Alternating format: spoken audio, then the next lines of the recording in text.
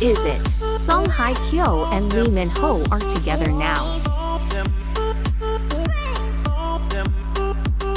In consecutive Instagram posts, Fendi shared photos of the two internationally known K-drama stars clad in fabulous looks from their summer collection this year.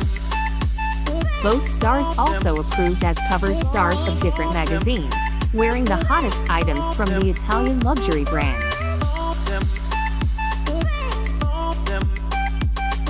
Actress Song Hye Kyo looked effortless stylish and blooming in the cover of Harper's Bazaar Korea, clad in Fendi's Spring-Summer 2021 collection for women.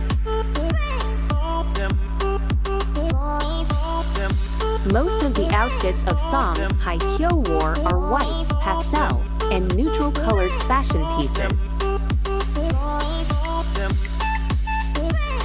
Actress Song Hye Kyo was perfectly embodies mood wearing a total look from the collection of Fendi. Some parts of Fendi's 16 captions was reads, a version of elegance and grace meets a new Fendi ambassador in Korea actress Akio 112. Talented, confident, and undeniable stylish with an effortless edge.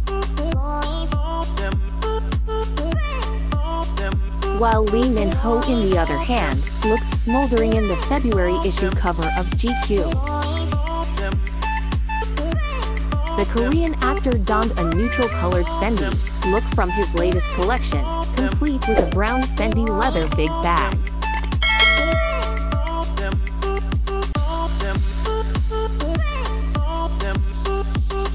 In January, Lee Min Ho received an exclusive invite from Fendi Rome for their men's fall or winter 2022 digital runway show.